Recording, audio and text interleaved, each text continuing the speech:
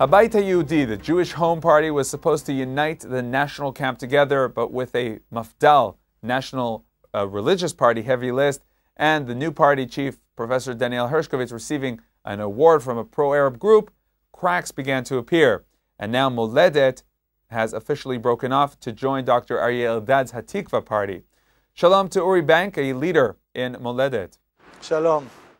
So, what are the reactions in the Moledet party to the final list of the Jewish Home Party? We're actually kind of shocked that the council that put together this list would violate so blatantly all the agreements that had been agreed upon beforehand between the three founding parties, Moledet, Mafdal, and Tkuma. Uh, those agreements included having at least two secular Jews in the first 10 seats, which is very important to my party, Moledet, which was always a combination of secular and Orthodox Jews.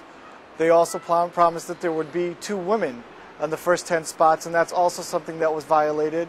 They promised the general public that they would have a say in the makeup of the list and primaries for the chairmanship of the list. They canceled those primaries, and the on- online election that they did have in order to set up the rest of the list was totally ignored. We know for a fact that only two council members actually saw the outcome of the list.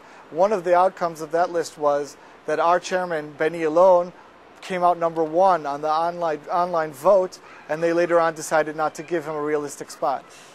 Now, Uri, one of the main ideas of the list was getting new names in. Now, part of that would be, of course, having current Knesset members taken out of the list. And so, was this a surprise at all? It's not at all a surprise, and we're actually happy. And we also pushed that there should be at least four new uh, new names on this list but we, it was always evident and obvious to us that part of the agreement was that the three founding parties, again, Mafdal, Moledet, and Tkuma, would all have at least one representative. It's outrageous that they decided to give the NRP, the Mafdal, two reigning MKs, eh, or Zevulun Orlev and Nisan Slomiansky, and yet they found no place at all on the list for any kind of Moledet representative, our current MK or any other representative of ours. Or you're close to uh, Rabbi Benny Elon, uh, the Knesset member who has announced that he's retiring from uh, politics. Why is he not part of the attempts to get Moledet into a better position? Why did he retire? Rabbi Benny Elon has decided to retire from politics, and therefore he is allowing me, the next in line, to head the negotiations with what will become with the party in the future. Rabbi Benny Elon has made a great contribution to Israeli politics. He, in effect, is on the right wing, the ideological right wing, the one statesman we actually have with a vision and a plan for peace in the Middle East that counters Oslo, and I am sure that he's going to continue working on his Israeli initiative outside of the parliament uh, and allow the Moledet party to try to fight for its representation in the Knesset, while he does bigger and, and, and, and, and larger things on the larger scale, even outside of Israel and in the international community. And we hear that Dani Dayan, Yesha council leader, offered Elon his position on the list. Uh, I have not heard that rumor, uh, and I think it would be a grave mistake for Dafka Dani Dayan, the only secular Jew that they decided to put on the list, again, after they promised to put two secular Jews at Moledet's uh, request. Um, it would be a mistake for him to give up his position. It's very important to have a person like that on the list.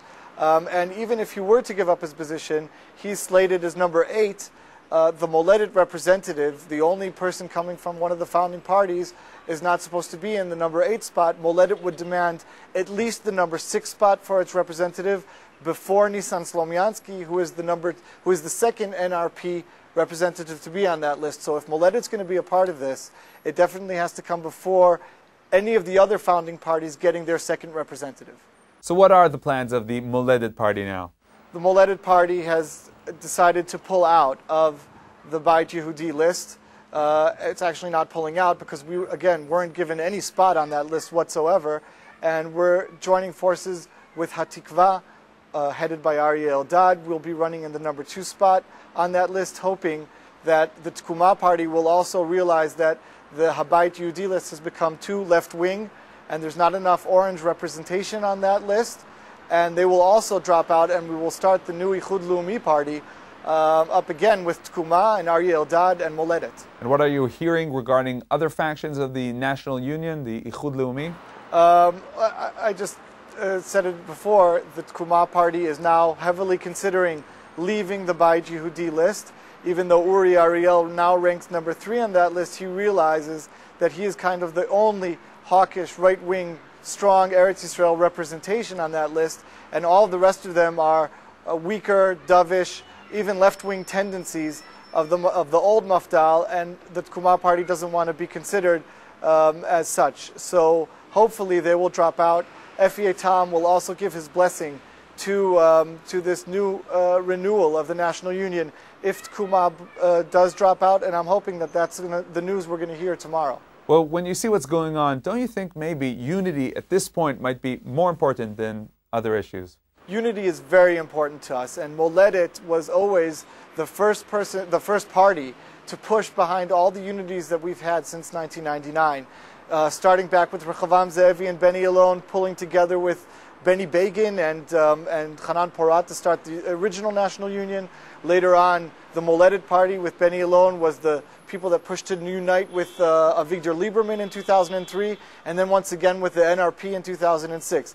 It has been very important, and we've, we've sacrificed a lot for it over the years. Now it seems like it's impossible because this list doesn't represent our ideology anymore. And the Moledet Party and its ideology has been around for 20 years, ever since 1988. It's imperative that it be represented in the next Knesset. Uh, we are debating if Rav Wolpe and Baruch Marzel's group would be somebody who could be represented on this joint list, which is now includes Hatikva Moledet. Hopefully from tomorrow will also include Tkuma. We're looking into that. Um, that's definitely something that we would like to see them send a representative to us and then not have them run as a separate entity representing basically the same values and ideology. I can't say that it's a done deal, but it's definitely something that we're trying to get done. Uri Bank of Moledet, thank you very much for joining us. Thank you very much.